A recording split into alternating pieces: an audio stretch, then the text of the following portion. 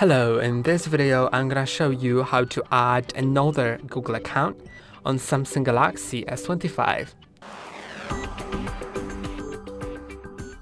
To do it, go to the settings, then go to uh, go to the accounts and backup. Now manage accounts. As you can see, I don't I don't have even one Google account, but here by clicking on add account, you can add as many as you want. So I'm gonna add a Google account. Of course, if you don't have one, you can create it with the create account button. Now I'm gonna enter the password off camera. And now select who will be using this device. I will be using it, so I'm gonna click on next.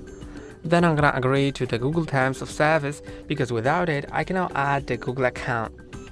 Now you can select whether you want to back up your data or not. I recommend backing up because you don't want to lose your data probably. And now I'm gonna click on accept and my account was added and you can add as many as you want as I've mentioned so you can just click on add account and add another one. That's all for today, don't forget to like and subscribe, see you next time.